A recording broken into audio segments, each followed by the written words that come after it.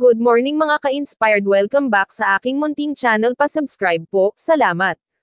Super blessed talaga si Lorable simula nang na-vlog ni Sir Paul Pugong Biyahero at ito mga maraming gustong kumuha sa kanyang bilang model at ang kwento ng kanilang buhay, isa na ang KMJS, Kuya Kim at isang radio station sa Davao, pero alam niyo ba mga ka-inspired lahat ito tinanggihan ni Lorable at pamilya, dahil gusto nila na kay Sir Paul lang.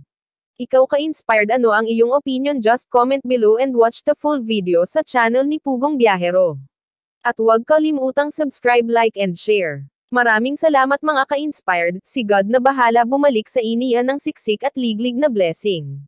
Hanggang sa muli mga ka-inspired mag-ingat saan man kayong sulok ng mundo, I love you all. God bless.